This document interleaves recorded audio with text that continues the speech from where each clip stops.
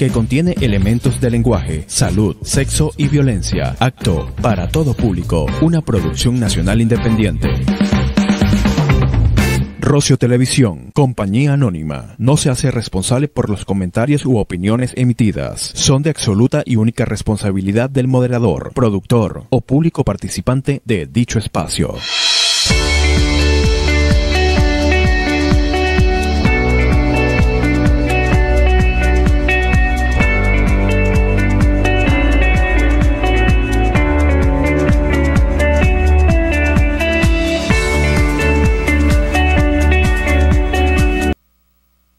Bien, muy buenos días. Iniciamos otra entrega de su programa de esta hora, Encuentro Rociano. Hoy enviamos un saludo muy especial a todos los arquitectos en su día. Hoy 4 de julio, Día del Arquitecto, así es. De igual manera, bueno, los Estados Unidos de Norteamérica están celebrando su día, su día de independencia nacional. Y bueno, en los Estados Unidos hay muchos de nuestros compañeros, hermanos, compatriotas allá haciendo vida normalita. Y, eso se agradece, se le agradece a todos los países que le han dado cobijo, que le han abierto las puertas a nuestros hermanos venezolanos con respeto. Sí es verdad, están trabajando fuerte, muy fuerte, muy duro. Pero bueno, allí están bregando, bregando por lo que ellos creen. Bien, eh, yo hoy me siento así como media apagadita porque bueno, revisando esta mañana bien temprano las noticias, me enteré del sensible fallecimiento de un amigo, de un líder nacional del magisterio venezolano. Sí, partió de este plano el profesor Ramón Eliadio Rengifo vaya para sus familiares, para sus amigos, para el gremio de docentes, para su partido político, para los adecos, mis más sentidas palabras de condolencia, vaya para la profesora Marilú y toda esa gente hermosa de allá de Tucupido, mi, mi saludo, mi respeto y bueno, en este momento tan, tan difícil como es la partida de un ser querido, este, reciba mi, mi respeto. Así que bueno, estaremos pasando por allá, los actos velatorios se van a realizar en la funeraria Santa Edu Virgen. Allí van desde las 7 de la mañana hasta avanzada la tarde, van a tener los restos de el líder del profesor Ramón Eladio Regifo. Bueno, dicho esto, iniciamos nuestras noticias en el ámbito nacional. Y bueno, ayer el presidente de la República, Nicolás Maduro, en su alocución de los días lunes, fue claro donde habla. Maduro alertó sobre el resurgimiento del fascismo de la extrema derecha. Esto a propósito de algunos comentarios. Eh, que surgieron a raíz del lamentable eh, accidente, del trágico accidente del Sucoy, allí donde perdió la vida un venezolano, un hombre joven, eh, recién ascendido a coronel, era un piloto muy brillante según pude leer. Y bueno, eh, le dieron el ministro de la defensa, eh, le dieron su ascenso post-mortem. El presidente aquí dice que denunció que pretenden avivar para crear un escenario de confrontación similar a los años 2002, 2014 y 2017. Y entre otras cosas dijo que él se encuentra en campaña y batalla contra la inoculación del odio. Eh, y hablando de esto, bueno, ayer los que tuvimos la oportunidad de escuchar a la ciudadana alcaldesa de este municipio, colocaba allí un video del presidente de El Salvador, donde él con respeto, con consideración y con todo lo contrario a lo que es eh, la violencia y el odio, bueno, ha conquistado mucho allí en su país y eso es lo que pretendemos todos, decirnos las cosas en el marco del respeto, con mucha tolerancia, se requiere tolerancia, no vamos a caer en ningún momento en este tipo de situaciones, no señor. Lamentablemente hay muchas personas que no entienden que cuando se les dice o se les hace una crítica, lo toman por el lado que no es. Por lo menos en mi caso, yo estoy abierta a todas las críticas y eh, las críticas nos ayudan a ser cada día mejor, a superarnos, a mejorar. Y eso es lo que queremos. Bien, estas son algunas de las noticias y por aquí otra de las notas nacionales es que Maduro rechazó críticas contra la FAN por accidente del Sukhoi. Protestas violentas en Europa, específicamente en Francia, se extienden a Bélgica y a Suiza. Eh, por acá nos dicen más de 400 toneladas de harina de maíz precocida se producen en Apure.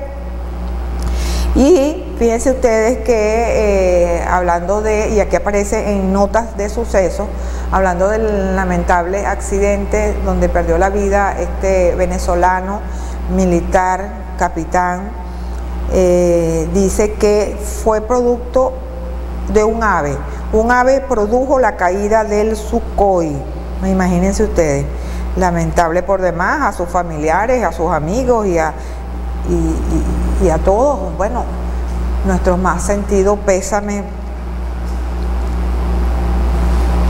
Seguimos revisando, seguimos revisando notas y aquí nos dicen eh, Televen, Televen celebra 35 aniversario. Bueno, imagínense ustedes cuando Rocio TV celebra 35 aniversario, director. ¡Qué bueno! ¿Será que seguimos aquí con nuestro director, a quien le agradecemos, por supuesto, toda la sintonía? Y esto es posible gracias a ese equipo extraordinario de la mejor propuesta televisiva de la región, Rocio TV, canal 16 por Inter. También nos pueden ubicar y ahí les van a colocar el equipo. El link que nos pueden ver por YouTube. Sí, señor, aparecen los números de contacto telefónico, mensajería de texto y también lo pueden hacer a través del 0412-493-9466 para enviar mensajes de WhatsApp. Gracias muchachos, de verdad, gracias que están allí siempre atentos. Por aquí vamos a compartir eh, algunas noticias en positivo de la gestión municipal. Bueno, ayer la alcaldesa en un programa largo y extenso, ¿verdad? Allí mostraba parte de su gestión, pero es que después de un programa de tres horas y más, se dirigió, por ejemplo, a, eh, a Parapara por la situación de, y vamos a revisar por acá, cómo se dio la reunión en Parapara. Aquí tenemos Parapara estuvo la alcaldesa en Parapara atendiendo el llamado de los productores de la zona. Allí se produjo una producto de las lluvias, una situación allí de, con el puente si vamos a buscar por aquí en servicios públicos, si tenemos las imágenes del puente de lo que pasó el fin de semana, no las tengo aquí a tono, pero bueno, tengo otras imágenes que, bueno, aquí está la gente de servicios públicos haciendo el mantenimiento, los camiones full de desechos sólidos eh, estuvieron en Los Naranjos, hicieron mantenimiento en el parque Doña Eva, y por aquí vamos a ver si lo tenemos aquí a mano, a ver si tenemos acá compras y suministros, tenemos por aquí, sí señor, aquí tenemos el mantenimiento del parque Doña Eva. Lo tenemos.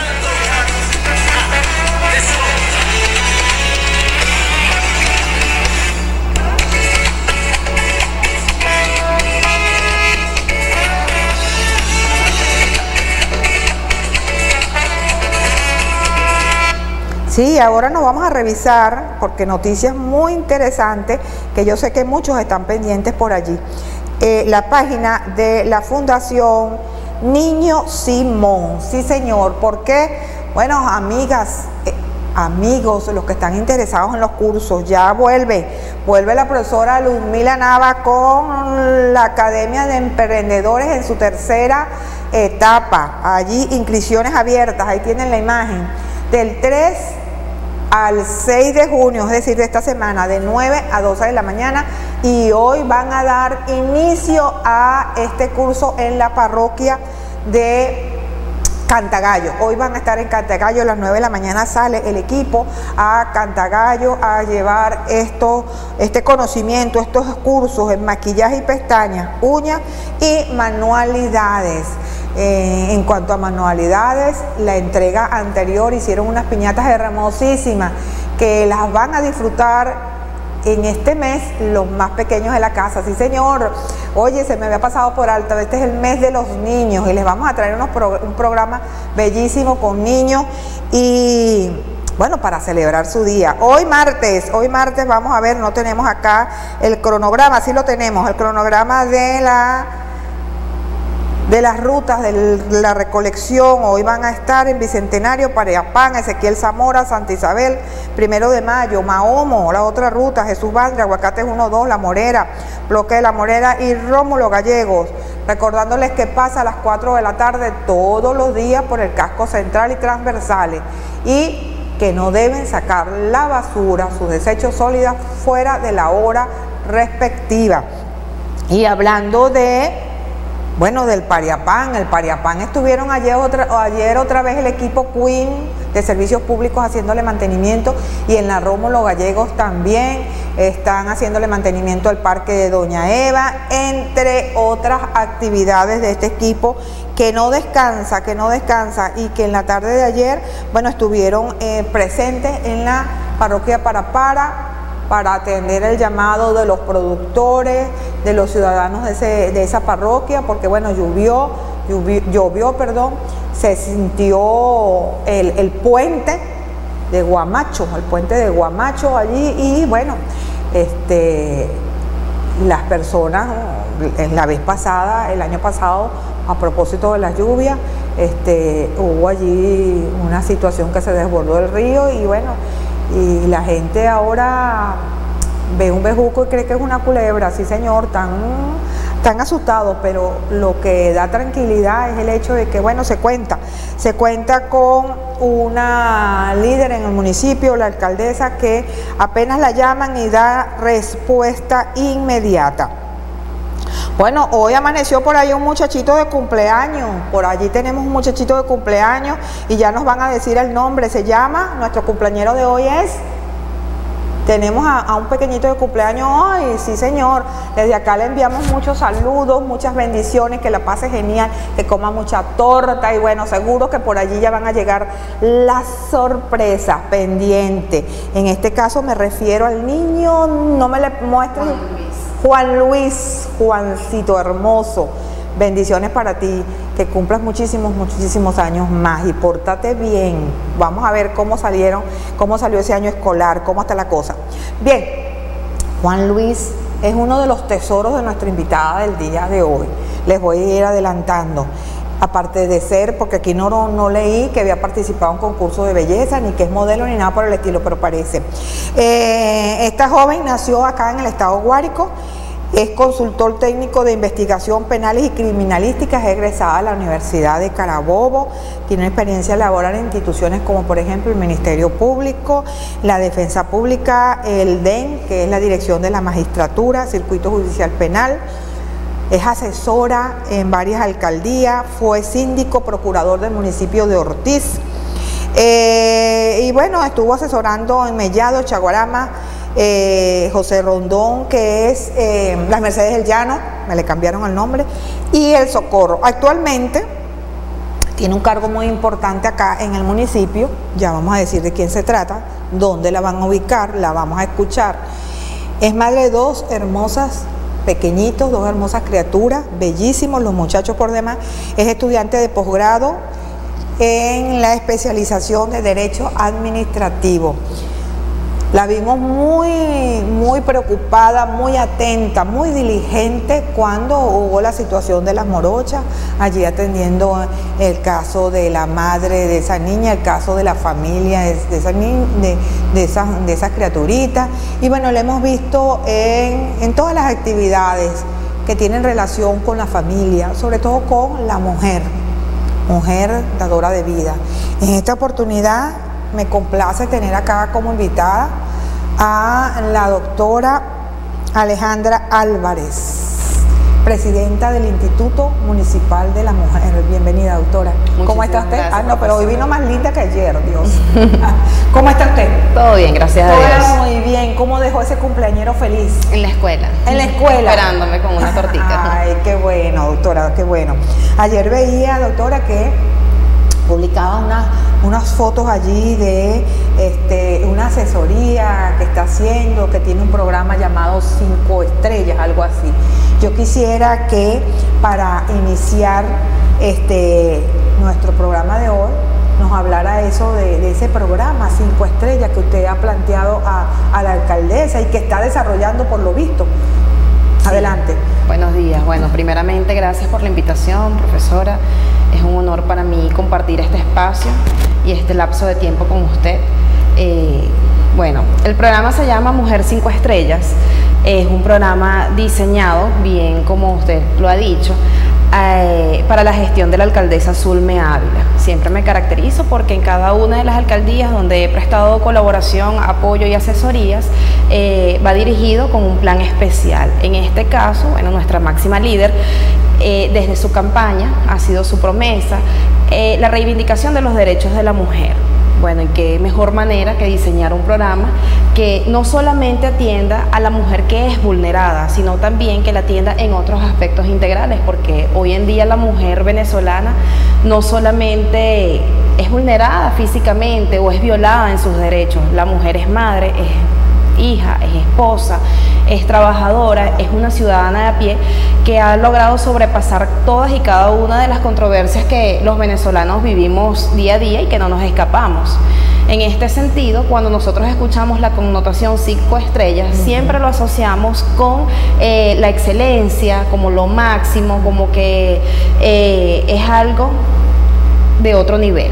Nosotras las mujeres somos algo de otro nivel. No descartamos, por supuesto, la hermosa labor y la loable labor de los hombres que hoy en día también han tenido que reivindicarse eh, por la misma situación país, que no solamente no nos afecta acá, sino eh, en todo el mundo. Es una situación que estamos viviendo a nivel mundial.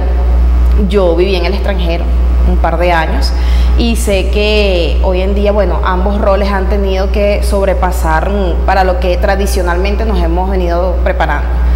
En ese sentido, bueno, el programa Mujer 5 Estrellas atiende, previene, forma, reivindica y, hace homenaje a la mujer rociana. Qué bonito. Es un programa también diseñado para que en un futuro, porque vamos por más, este, podamos abarcar eh, otros espacios. Eh, bueno, nosotros a través de InMujer hemos trabajado atendiendo a todas estas mujeres que han sido víctimas de violencia y hemos ido un poco más allá. Desde hace algunas semanas hemos venido atendiendo casos de divorcios porque a veces atendemos a la mujer, hacemos las remisiones correspondientes porque debemos actuar siempre apegado a la ley especial y eh, a veces no ponemos como que un punto y final o un cese definitivo a este núcleo que es el generador de violencia. En este caso, bueno, estamos atendiendo mujeres que no tienen cómo costear los honorarios profesionales de abogados para que puedan ser asesoradas, hacerle seguimiento y sean atendidas a través de los tribunales correspondientes para que ellas disuelvan ese vínculo que los une con el agresor. Entonces estamos trabajando con ese sistema atendiendo, asesorando, haciéndole seguimiento y acompañamiento a todas esas mujeres que necesitan divorciarse a través eh, de la forma del desafecto. Eh, a través de los tribunales correspondientes, totalmente, gratuito. Solamente ellas deben de hacer este, el costo o el, o el asumir el costo de eh, las copias, que eso ya es directamente con el tribunal. Aquí tenemos dos ciudadanas acá que han culminado su proceso, dice usted aquí, proceso gratuito de asesoría de divorcio por desafecto.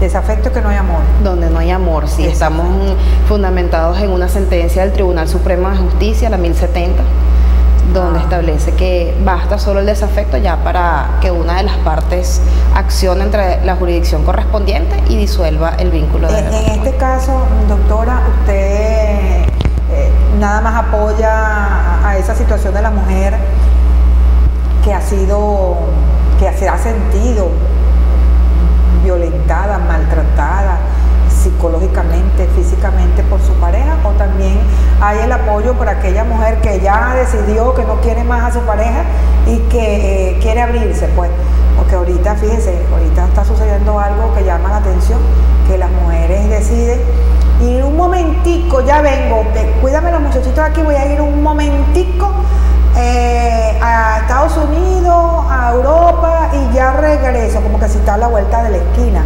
Y eh, me he enterado que en algunos casos es que no, consiguen la forma para eh, acabar con ese vínculo, con esa pareja y se valieron de la situación país. ¿Le ha sucedido algo de eso? Ustedes apoyan, por ejemplo, yo me quiero divorciar y bueno, realmente nosotros siempre preservamos el tema familiar, ¿ok? Aun cuando todos somos humanos, eso pasa también eh, con la figura masculina. Sin embargo, siempre tratamos de asesorar para que sea de la mejor manera, ¿ok? Recuerde que, bueno, ya las acciones son de manera personal y muchas veces nos encontramos con situaciones donde ya eso se ha dado no buscan una asesoría previa, sino este, ya cuando ven que, por ejemplo, la figura masculina eh, toma alguna postura donde ellas vienen a reclamar algún tipo de derecho patrimonial y bueno, este, ya allí se hacen las remisiones correspondientes para que ellas actúen ante los organismos competentes, porque también eh, hemos trabajado con casos donde el hombre violenta, agrede, amenaza, coacciona la mujer de tal manera que hace la vida imposible dentro del hogar. Entonces también hay que tomar en consideración ese punto porque somos víctimas de una u otra manera de esa presión, de esa violencia silenciosa, de ese no te pego, pero te hago malos gestos, te hago malos tratos, te hago malas caras, eh, te hostigo, ¿me entiendes? Para que, bueno, la mujer de una u otra forma salga y la figura del hombre se victimiza, porque también vemos este, esa ambigüedad en las acciones de la pareja. Fíjese usted, usted habla de algo muy importante, violencia silenciosa. Y hemos escuchado de, bueno, de, amigas, de compañeras. No, ese, ese le pasa, ese es su carácter. Él es así. Él me gritó ahorita, pero él es así. Ahí hay un ojo, una alerta, doctora, ¿cierto? ¿Qué hacer? ¿Qué, qué decirle a esa mujer que, bueno, el primer grito que te pega o el primer reclamo porque no está limpia la ropa, no está eh, planchada o almidonada, por decir algo, allí hay un, hecho grave desde mi punto de vista, ¿o no es así? Claro, por supuesto. Fíjese que considero de manera muy personal, como, como mujer, yo soy madre, fui esposa, eh, a pesar de que, bueno, tengo 30 años, no me da pena decirlo, aparte de ser profesional, madre, fui esposa, estuve en una relación con el papá de mis hijos durante casi 11 años, desde muy niña, por así decirlo. Es un excelente padre. Y bueno, aun cuando las cosas no funcionaron, eh, vamos a hablar en, la relación personal de nosotros, ¿verdad?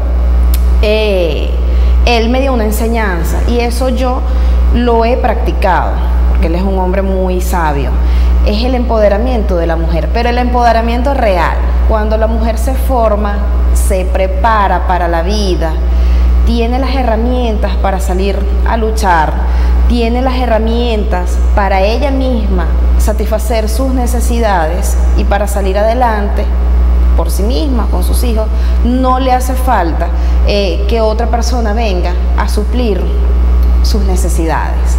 ¿Qué sucede? Hay muchas mujeres que son codependientes. Yo lo fui en un momento, gracias a Dios que no viví esa circunstancia como bien sabemos que la viven muchas personas cercanas a nosotros. Eh, cuando Pero ahorita, porque yo digo, bueno, de repente hace 30, 40 años atrás era diferente.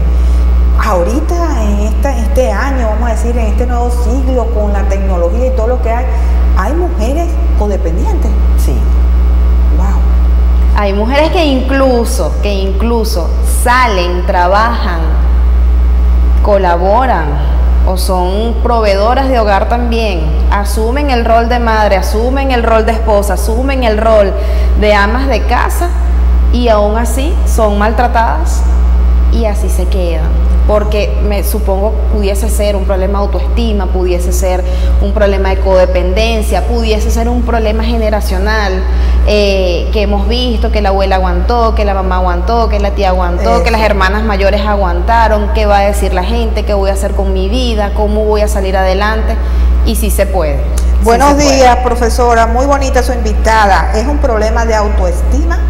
Y por otro lado me dicen, buenos días, soy Luis Aponte.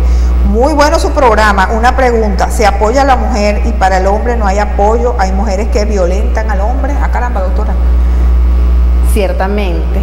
Eh, bueno, con relación a la primera pregunta, sí, sí considero que puede ser un problema de autoestima eventualmente en este programa que nosotros hemos diseñado. Digo nosotros porque tengo un maravilloso equipo, un maravilloso equipo, de verdad que eh, las mujeres que conforman el Instituto Municipal de la Mujer son unas mujeres aguerridas, ejemplo de vida, también eh, profesionales, madres, eh, echadoras para adelante, cumplidas con su trabajo y bueno, haciendo un estudio en todas las vértices que nosotros queríamos atender, bueno, se dio ese origen de ese programa Mujer 5 Estrellas.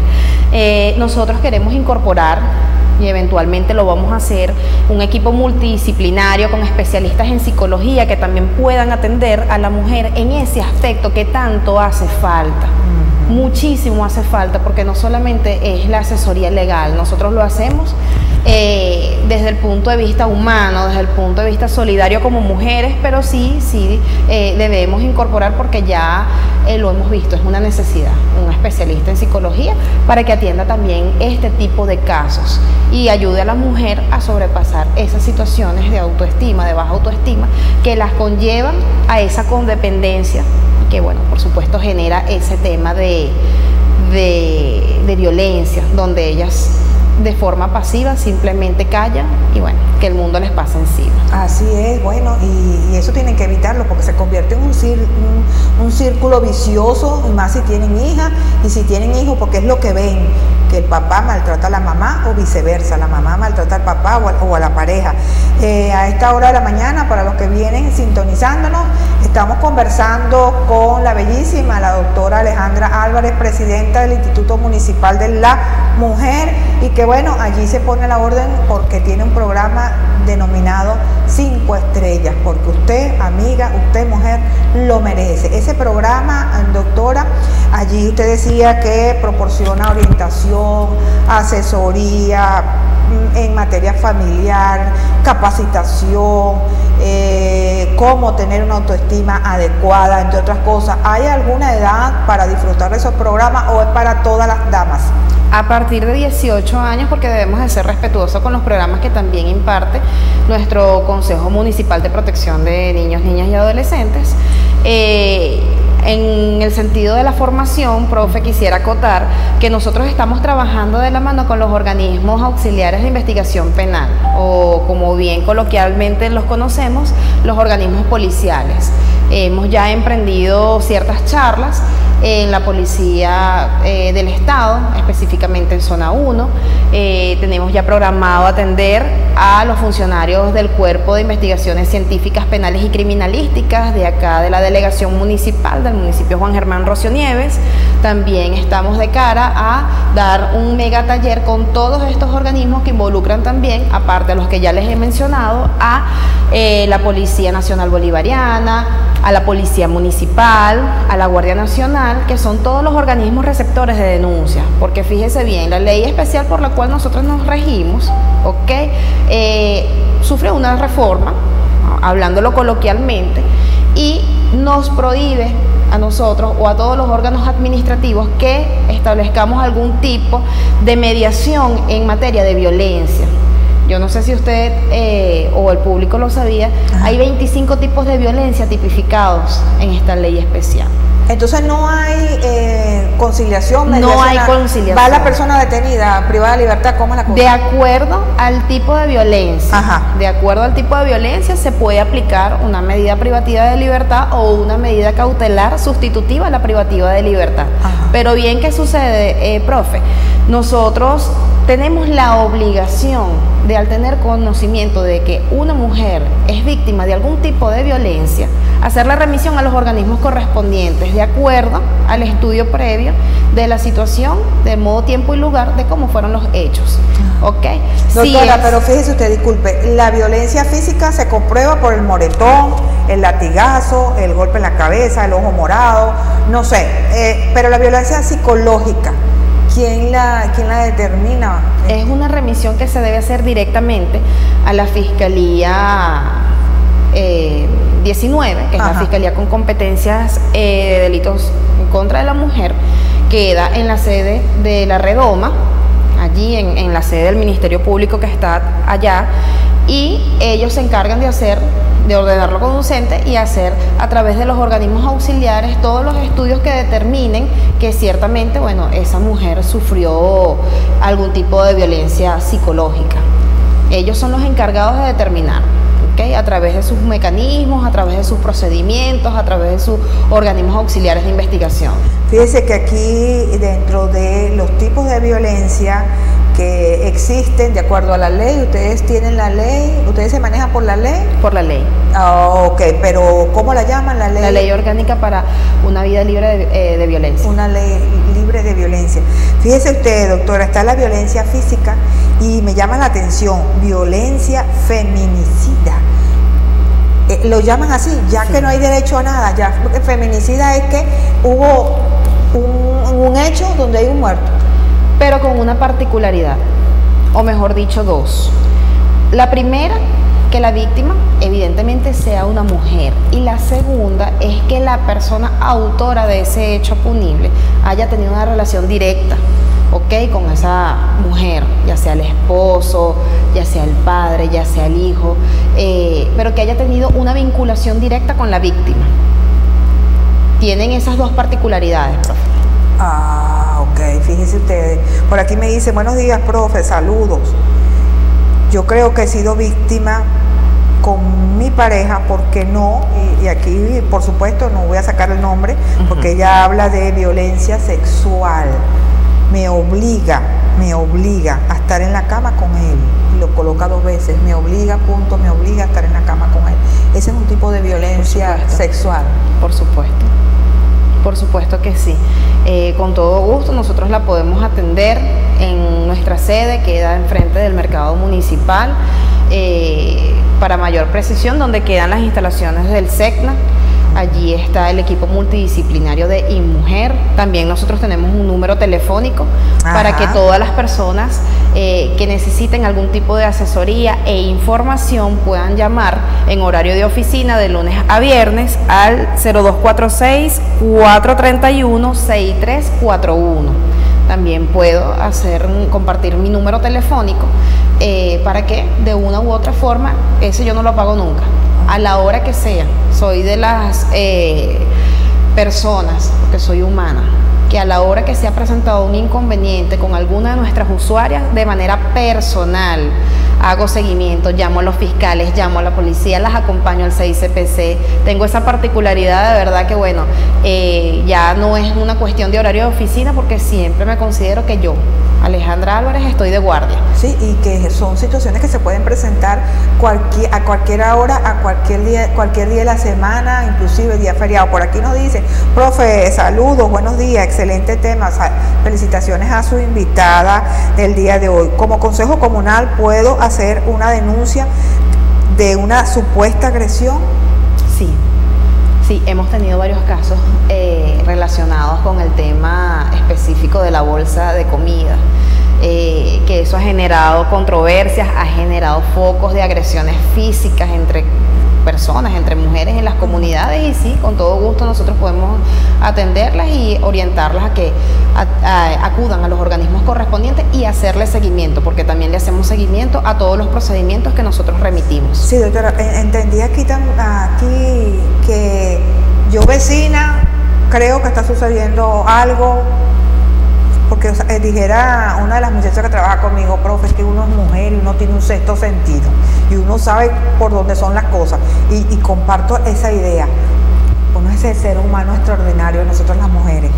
Eh, si yo supongo o percibo que el maltrato de una vecina, yo como vecina, como consejo comunal, como la figura que tenga allí Caín, puedo ir allá, mire doctora, ¿será que se puede hacer un acompañamiento? Sí, lo, sí te... Por supuesto, y es totalmente válido porque es que está establecido en nuestro ordenamiento jurídico vigente.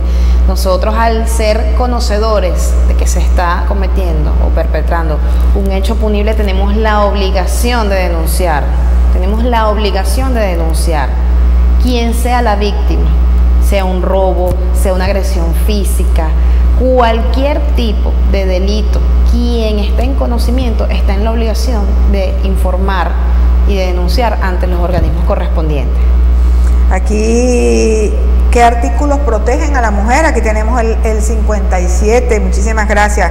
Eh, ¿Qué le garantiza los derechos a las mujeres, ¿verdad? Ante diferentes agresiones.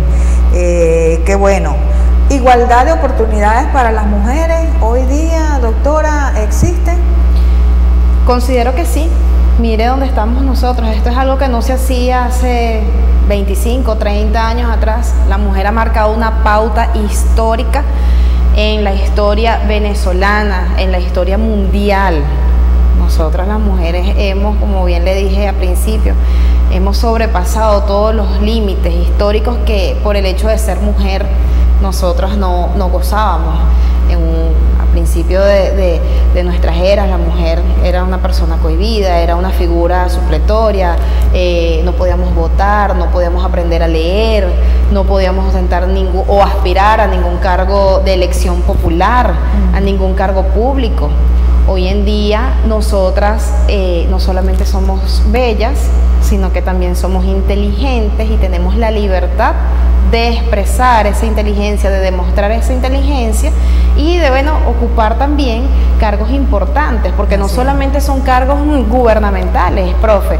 Eh, la mujer es maestra, es médico, es ingeniera, hay mujeres que han ido a la luna, que trabajan en la NASA, hay mujeres que trabajan en los campos y son tan importantes en el tema de la agroproducción que nosotros hoy en día, el alimento que nos llevamos a la boca, una gran tasa de importante de mujeres son las que trabajan en, en los campos, estamos en todas partes. Hoy en día podemos decir que hay igualdad de condiciones, solamente que nosotros tenemos que también tener pie de plomo y saber hacernos nuestro espacio. Sí, señor, tener esa seguridad con, con respeto. Hay mujeres en la casa, ese trabajo que nadie como que lo reconoce, el ser ama de casa, uy, qué fuerte ser ama de casa, allí están, muchos les ha tocado la doble función, ser madre porque concebieron a los niños, pero también ser el padre porque, bueno, ha fallecido, porque se retiró, porque no quiso más estar allí, por las razones que haya sido,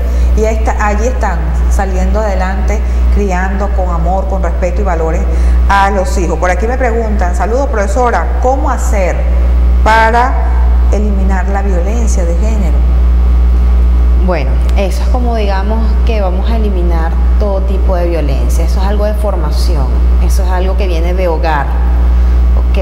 Eso es algo, yo tengo dos varones y siempre he tratado de inculcarles el respeto y el amor y el demostrar amor. A veces eh, se tiene la mala concepción de que el que es más hombre es el que es más fuerte, es más aguerrido, es más agresivo, es el muchachito que va a la escuela y no se deja este tropezar con otro porque inmediatamente va y le da un golpe. Yo pienso que la génesis y la erradicación del problema está en la formación. En la formación y, y en la familia. Fíjese usted que nosotros venimos de una cultura occidental donde el varón no llora, el varón es el fuerte y la mujer es la, bonita, la delicada, la débil, la que debe ser la sumisa, la que debe obedecer. Y entonces tal vez eso que lo hemos venido arrastrando y bueno, se escapó de las manos con, una, con unos caballeros que bueno, han sido terriblemente fuertes, ¿no? Bueno, si pudiesen llamarse caballeros, porque hoy en día eh, hay hombres que son formados, que son profesionales, que son estudiados, por así decirlo, pero son estudiados, formados, pero de la puerta de la casa para, para afuera, porque la formación que les dieron en el hogar dista mucho de toda esa cantidad de títulos que ellos ostentan. Eh, son personas que al momento de dirigirse hacia una mujer lo hacen con un lenguaje soez, lo hacen con un lenguaje eh, no apropiado, lo hacen eh, con esa agresión, ¿sabe? Con, con, esa cuestión de que la única forma de yo imponerme es maltratándote, es haciéndote quedar en ridículo, es abochornarte. Y bueno, yo pienso, vuelvo y le repito, que la erradicación está en la formación, en cómo nosotros vayamos formando a estos niños y a estos adolescentes para que en un futuro tengamos una sociedad en paz, con calma, eh, con mayor mm, oportunidad eh, de libertad de expresión, porque muchas veces las mujeres somos cuestionadas por cómo nos expresamos, por lo que queremos hacer. Y allí también es donde se generan esos focos de, ¿sabe? Como de agresión, donde no vas a estar tú, voy a estar yo por el simple hecho de que seas mujer. Así es. Doctora, ¿ustedes tienen alguna una estadística, una cifra de casos de feminicidios en el país, aquí en el estado, aquí en el municipio? ¿no bueno, fíjense en el municipio, eh, en el país hay muchas, pero usted sabe que hablar de cifras y de estadísticas reales es algo un poco ilusorio porque hay investigaciones que todavía no han culminado y bueno, nosotros no podemos eh, arrojarlas en números. Sin embargo, puedo hablar a nivel local que en el municipio, Juan Germán Rocio, a través de las parroquias, bueno, y, del municipio como tal, de la parroquia San Juan, eh, es un municipio tranquilo. Gracias a Dios. Gracias a Dios. Sí hay sus focos de violencia, eh, pero hasta los momentos no hay ese foco eh, de muertes de mujeres, producto de, un hombre, eh, en una tasa elevada. Hace poco tuvimos un caso en las inmediaciones de la estación de servicio de Las Palmas, donde un ciudadano le dio muerte a su cónyuge y posteriormente él se quitó la vida, que es lo que usualmente hacen porque saben que la pena es elevada, ¿ok? Lo hacen por tema de presión, celos, pero son focos no aislados, pero sí muy puntuales, muy localizados. No es a nivel masificado, pues, que suceden este tipo de situaciones. Eh, el feminicidio es el, es el extremo más, más agresivo del abuso y de la violencia.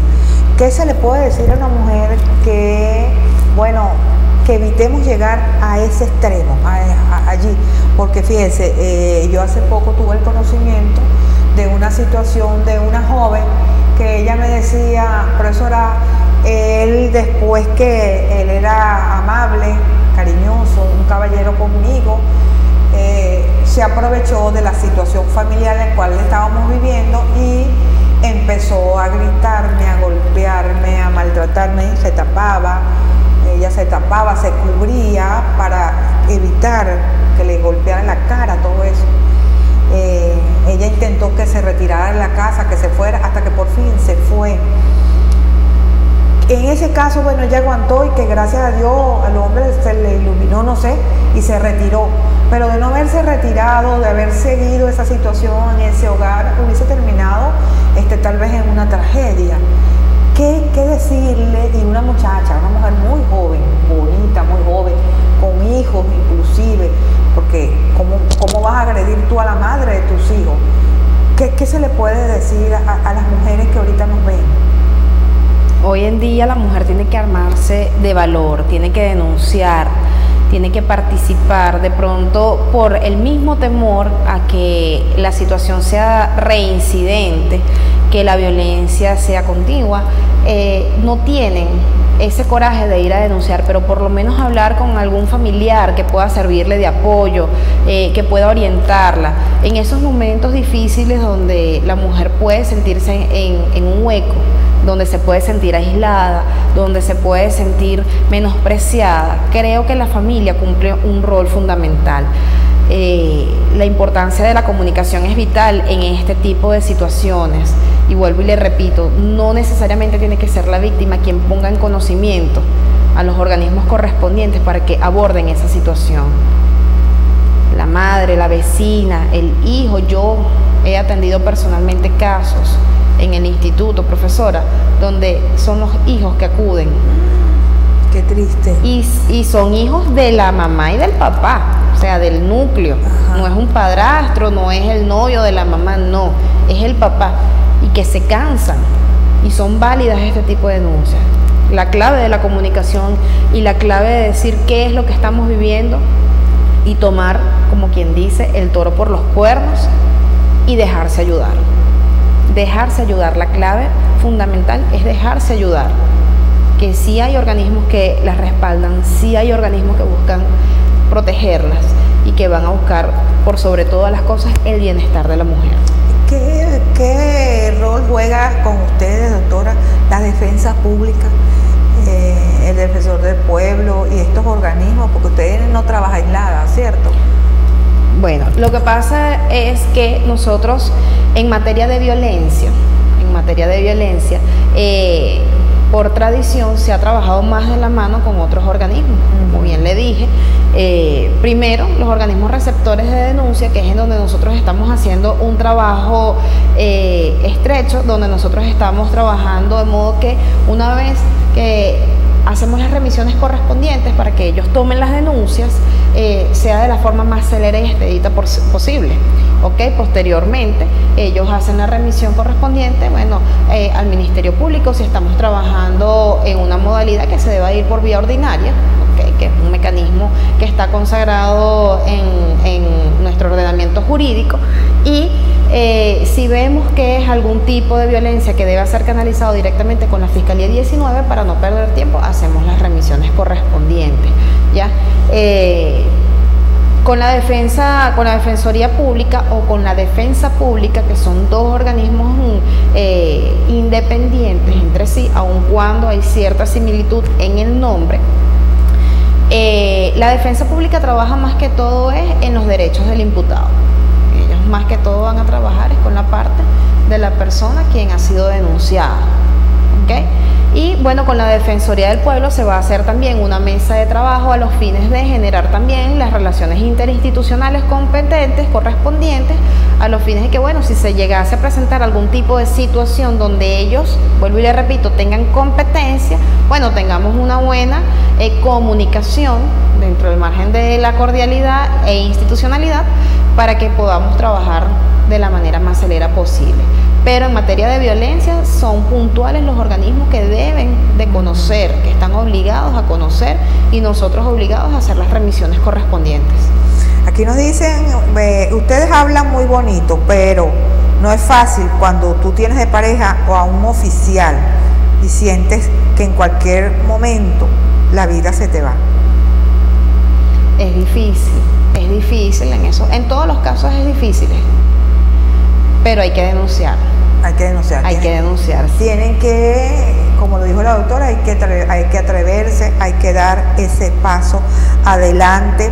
Bueno, doctora, este, desde su opinión y los casos que ha recibido y las visitas que ha hecho en el Estado, que ha, manejado, ha trabajado en, en varias alcaldías, de aquí del Estado y, acá en la capital, ¿cómo están las mujeres? ¿Cómo están las mujeres desde su, su óptica? ¿no? Eh, hay mucha violencia, hay mucha agresión, hay mucha depresión, hay mucha tristeza o todo lo contrario. Hay ganas de trabajar, hay ganas de prepararse, hay ganas, usted dijo algo muy importante, de empoderarse y evitar que este tipo de situaciones no sigan sucediendo o que no se repitan en un futuro con los hijos. Bueno, a nivel regional, como usted lo, ha dicho, he tenido la, bendición y la, enorme oportunidad de conocer ciudadanas de a pie, mujeres profesionales, eh, mujeres que están en cargos públicos, mujeres que están en su casa, que son las que más me gustan visitar. He tenido la oportunidad y tengo bueno, muchísimas, muchísimas, muchísimas amigas, porque siempre he tratado de cultivar la amistad a través de esta oportunidad que tengo. Esto es circunstancial, pero he tratado de cultivar la amistad eh, sincera en todos los, espacios en donde yo he estado.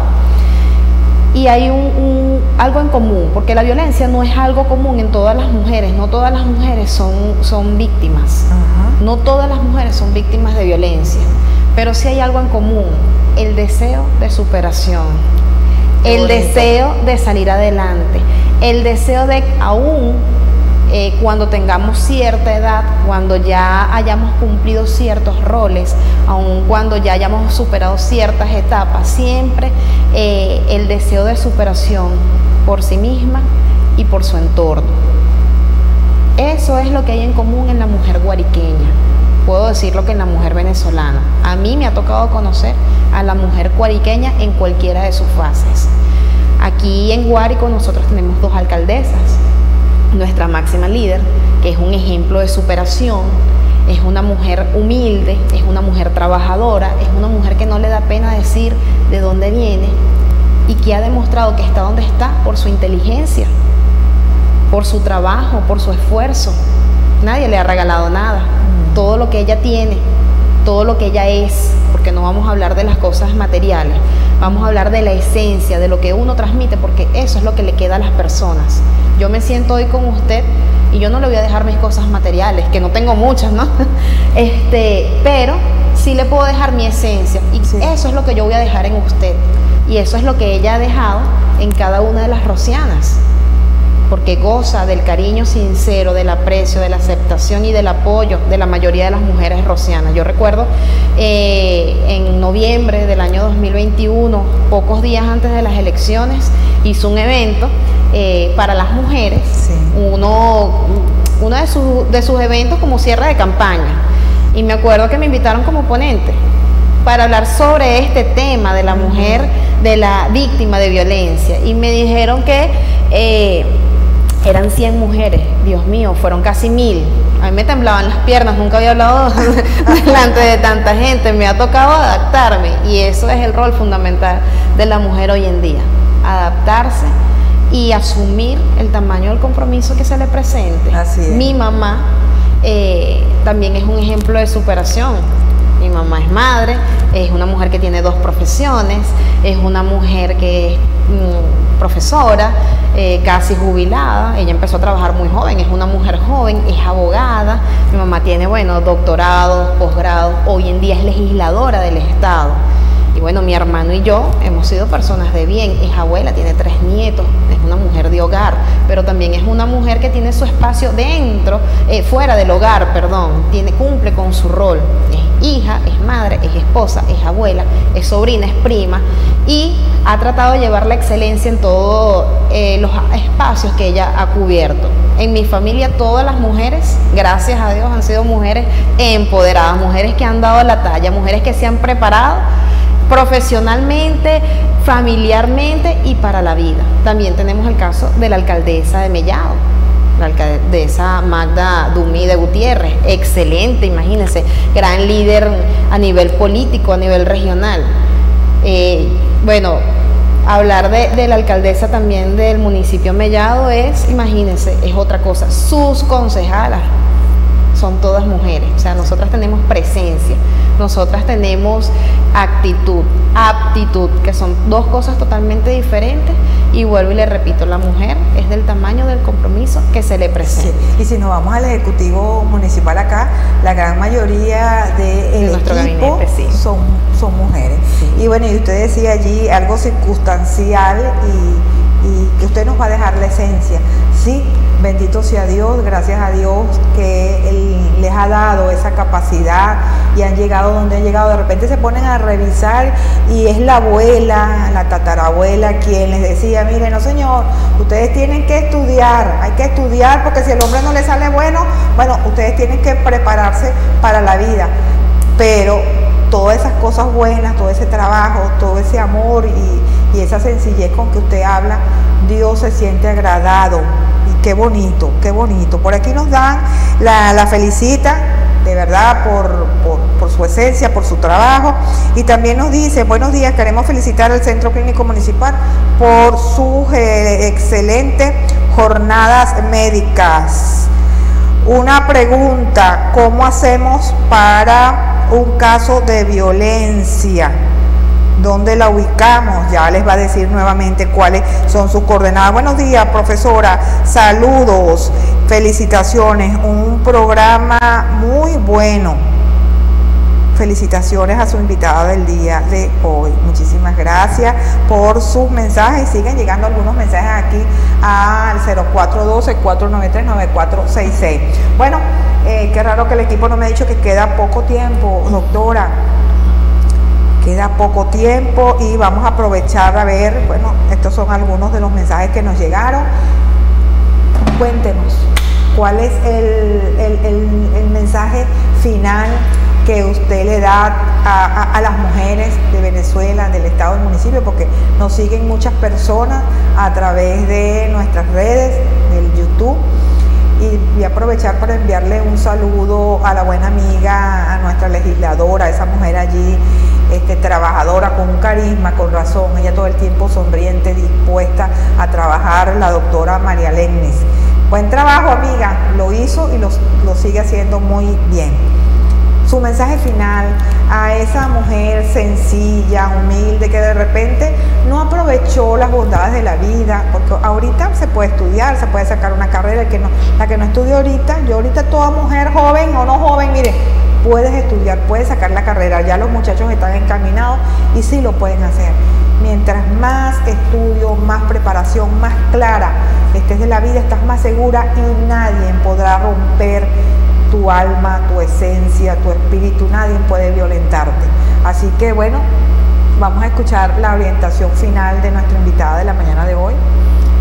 Bueno, eh, la invitación a todas y cada una de las mujeres desde su formación, desde pequeñas, eh, es algo, un trabajo generacional, es que siempre debemos prepararnos, es que siempre, siempre, siempre debemos formarnos en la educación de hogar, en la integridad, no solamente en lo académico, que ciertamente nos va a abrir oportunidades, pero más oportunidades nos abre o más puertas se abren cuando somos buenas personas de corazón. ¿Por qué? Porque siempre nos va, a, tocar cumplir un rol diferente en nuestra vida, de acuerdo a las etapas que nosotros estemos viviendo, profesora. Eh, desde el Instituto de la Mujer debo agradecer eh, primeramente bueno, a la alcaldesa Zulme Ávila por esta magnífica oportunidad que bueno, es, totalmente diferente a lo que yo estaba acostumbrada a hacer, pero me ha dejado una experiencia hasta el momento aleccionadora.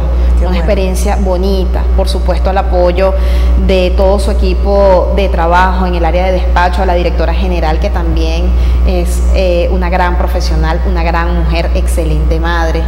Eh, a la licenciada Alejandra Barón, que es mi amiga desde hace muchísimo tiempo, a todo su equipo, Sonia, eh, la ingeniero Cleudis, la doctora Jessica, a todo el, gabinete conformado por mujeres y hombres, porque también los hombres han sido súper especiales eh, con lo que es el, el devenir y el desarrollo de las actividades propias de mujer.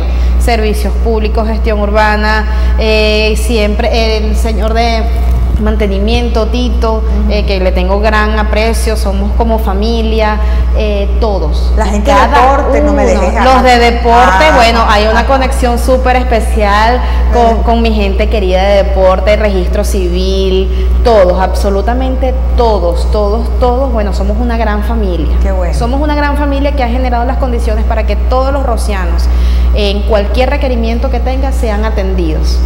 Qué bueno y todas las mujeres rocianas en cualquier solicitud que tengan sean abordadas. No solamente por mujer, porque somos un equipo y somos una familia. Y todos nos entrelazamos para que los rocianos tengan un, bienestar, tengan satisfacción a sus respuestas en la medida de nuestras posibilidades.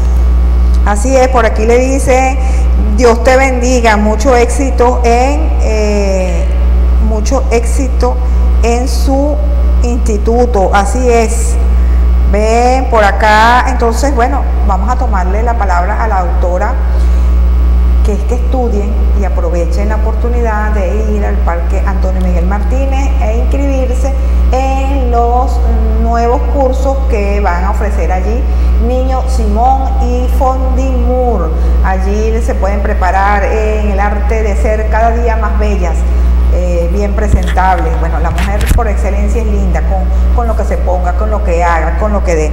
Bueno, eh, acá sí, ya empezaron a llamar, gracias de verdad a todos ustedes. Yo quiero agradecer de manera muy especial a nuestra invitada del día de hoy, a la doctora Alejandra Álvarez, a todas las mujeres sin miedo, sin temor alguno, como lo ha dicho ella, prepararse y si hay alguna situación que ustedes consideren, sí señor, llegan llegan los mensajes que ustedes consideran que eh, es violencia, ya saben dónde ubicar a la doctora Alejandra Álvarez. Bueno, yo creo que cualquiera se llega hasta allá encantado a conversar con ella porque con esa, con esa belleza no solamente física sino espiritual, bueno, usted va a salir allí fortalecido. Doctora, muchísimas gracias. Gracias por la Bendiciones a los hijos, a la familia, que la pasen muy bien. Y a todos ustedes nos vemos el día jueves, porque mañana es 5 de julio.